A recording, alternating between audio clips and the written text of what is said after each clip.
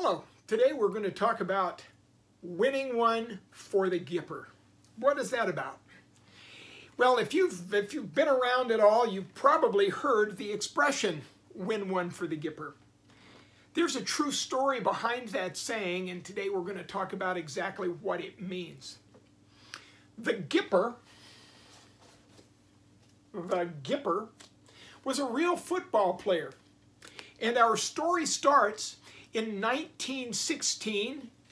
It uh, has a very climactic moment in 1920, but does not uh, come to complete fruition until 1928.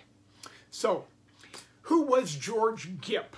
George Gipp was a football player at the University of Notre Dame. He was a real guy. And George Gipp got to Notre, Dame in uh, 1916 and he played through 1920. And here is a picture of George Gipp on the sidelines of a football game and a picture of George in practice. Here's a picture of George with his famous coach and, and team. Here is Knute Rockne, the famous Notre Dame coach, and here's George Gipp right in the middle of the picture. So what was so special about Gipp as a player? Well, he was a unique individual. When he got to Notre Dame in 1916, he was just a regular kid going to college. But he was a great athlete. He was one of the greatest athletes of his time in college football. In fact, in 1920, he was an All-American. Now, Gipp was a character, and by that I mean school wasn't for Gipp. He loved to party. They would often find him smoking and drinking and gambling and not always in class. But they got him in class enough to keep him eligible, and he was the star player on the 1919 uh, national championship team in 1920. The guy was amazing. However, he got pneumonia. In November of 1920, the Gipp came down with pneumonia. He was in a hospital bed and he was running a fever. But uh, Notre Dame was getting ready to play its last game of the 1920 season, and they were going to go play Northwestern in Evanston, Illinois.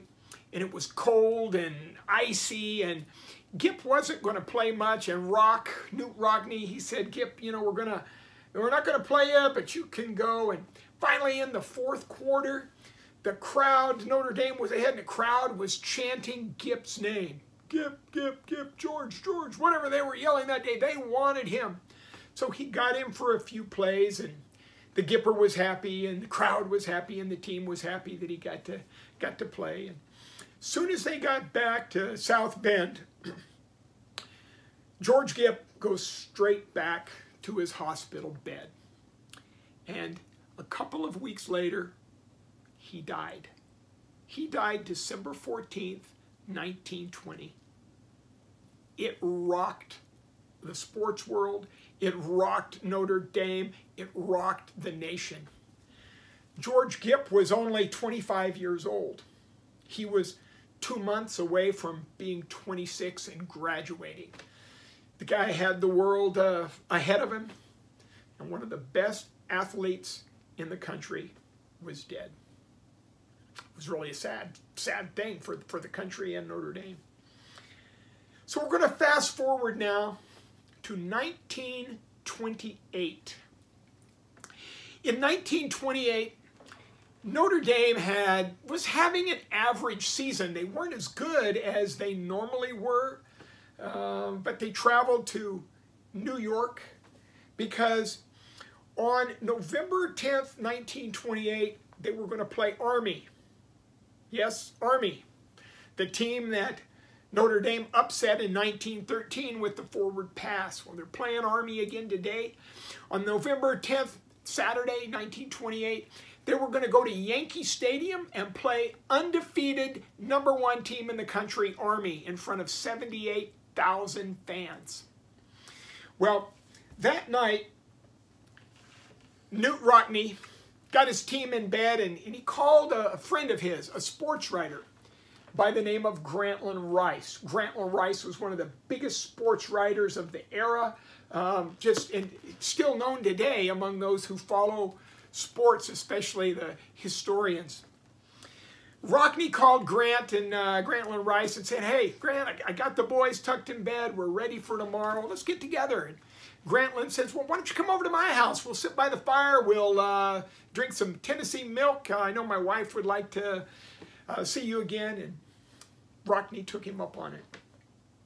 While they were sitting by the fire, Rock was, uh, as Grantland Rice writes, he says Rock was a little subdued that night. He, he wasn't, wasn't himself. And as they talked, Knute Rockne tells Grantland Rice that, uh, you know, I'm not really feeling good about this game tomorrow. We're not the team that uh, we normally are. We don't, we don't have, uh, have everything we need. And I'm really concerned. And I, I think I'm going to have to, uh, I think I'm going to do have to do something I haven't done before. I'm going to have to call on George Gipp and he recanted the, the story with Grantland Rice, of which he was very familiar. But, but then Rockne told another story to Grantland Rice that night about a bedside conversation that he had had just prior to George Gipp's death. Well, Grantland Rice writes about that evening, the conversation they had, and then he writes about the game the next day. And here's what Grantland Rice wrote about that game. He says the following day, that 28 Army Notre Dame game played, and as always, it was an overflow crowd. At the half, it was zero to zero, and the rest is history. So when that Notre Dame team went in against that awesomely powerful Army game. They went into the locker room and, and the boys were sitting in front of Rock and, and here is what Rockne said. He said, boys, I've got a story to tell you. He said, on Gipp's deathbed eight years ago, quote, Gipp looked up at me and after a moment he said, Rock, I know I'm going. But I'd like one last request. Someday, Rock, sometime, when the go isn't, going isn't so easy, when the odds are against us, ask a Notre Dame team to win a game for me, for the Gipper. I don't know where I'll be then, Rock, but I'll know about it, and I will be happy. That was Knute Rockne's halftime speech. Go out there and win one for the Gipper. There wasn't a dry eye on that Notre Dame team as they ran out onto that field for the second half in front of 70,000, 78,000 screaming fans. But Notre Dame pulled off an upset victory. They beat that mighty Army team 12 to 6. And the rest is history. That was one of the most famous pep talks of all time. Now here's a little coincidence, just a little bit of side trivia.